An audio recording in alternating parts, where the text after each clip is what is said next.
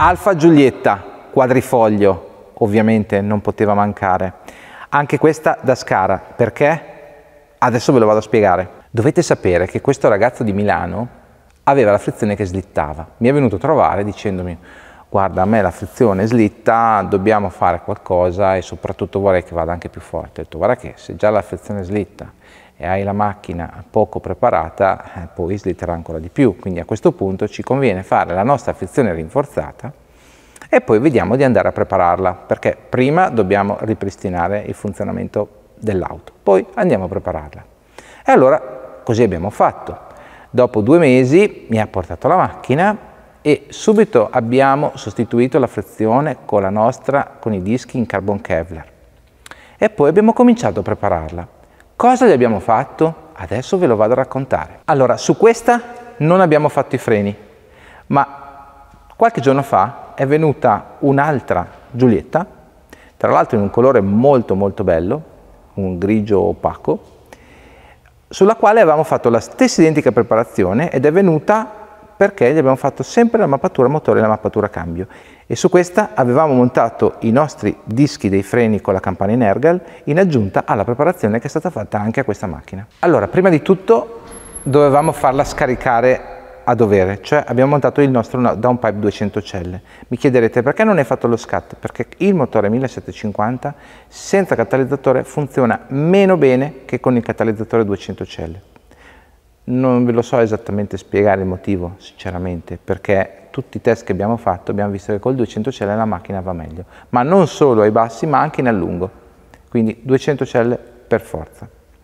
Intercooler con la nostra massa radiante Motorsport, aspirazione con il bicono frontale e poi mappa motore e mappa cambio, che è diversa o comunque simile ma non uguale a quella della 4C. E adesso vi vado a raccontare, intanto che sarò alla guida, cosa gli abbiamo fatto alla mappa motore e alla mappa cambio. Ed eccoci qua alla guida di questa Giulietta, cambio TCT, quindi cambio doppia frizione. Come vi ho detto abbiamo sostituito la frizione originale in luogo della nostra con i due dischi in carbon Kevlar. È un po' più scorbutica ma la coppia la tiene senza problemi. Infatti questo ci ha permesso di spingere la mappa motore. Mappa motore che abbiamo davvero portato a, a livelli molto molto alti perché siamo a un bare 8 di picco con un bare 7 stabile quindi la macchina va davvero forte. Ovviamente mappa 100 ottani così riusciamo a dargli l'anticipo che desideriamo e devo dire che spinge davvero forte ma a me piace davvero un sacco. Mappa cambio che in questa auto l'abbiamo fatta dedicata alla Giulietta, è diversa rispetto a quella della 4C perché la 4C ha una gestione elettronica della mappatura cambio diversa rispetto a quella della Giulietta. Sulla Giulietta non possiamo spingere le eh, cambiate così rapide come facciamo nella 4C perché la 4C pesa 300 kg di meno e quindi possiamo spingerci anche a delle velocità di cambiata più alte ma le accortezze sull'attuatore del cambio per evitare che vada in recovery piuttosto che la velocità cambiata che comunque l'abbiamo migliorata rispetto alla soluzione originale e tante altre accortezze sui limitatori che ci sono all'interno della mappatura le abbiamo sistemate per poter far funzionare l'auto alla perfezione. E adesso ve la faccio sentire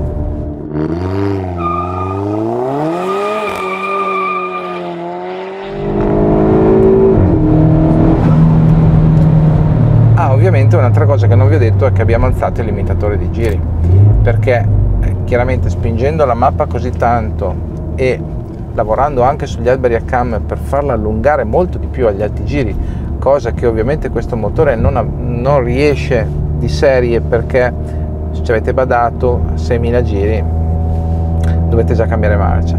In questa come anche nelle 4C riusciamo a far spingere il motore fino a 7000 giri anche 7200 e questo appunto abbiamo dovuto lavorare sia sulla mappa motore che sulla mappa cambio per spostare il limitatore da 6800 giri a 7200 giri.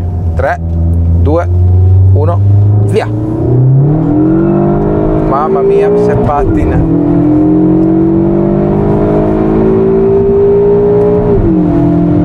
cambiata rapidissima. Veramente fantastica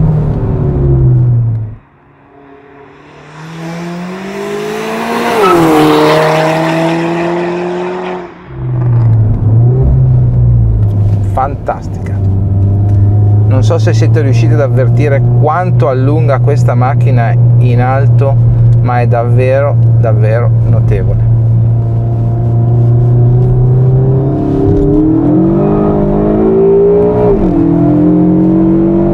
Cambiata e secca.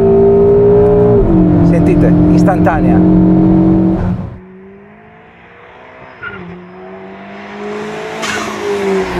Vi chiederete quanti cavalli abbiamo raggiunto bene non l'abbiamo portato sul banco però dai test che ho sui tempi e sulle comparazioni su auto che abbiamo già mappato su questa macchina siamo tra i 310 e i 315 cavalli con 460 70 Nm di coppia. Davvero un risultato di tutto rispetto considerando che è una macchina da 1350 kg che ovviamente non possiamo neanche spingere molto di più. Eh, visto che comunque le frizioni è vero che sono rinforzate però non è che possiamo giocarcele in, in 10.000 km vi ho voluto portare la Giulietta perché è vero che ne abbiamo sempre fatte tante però non ne avevo mai portate sul canale. E così almeno potete vedere anche come si comporta una Giulietta e non solo le 4C come ho sempre fatto.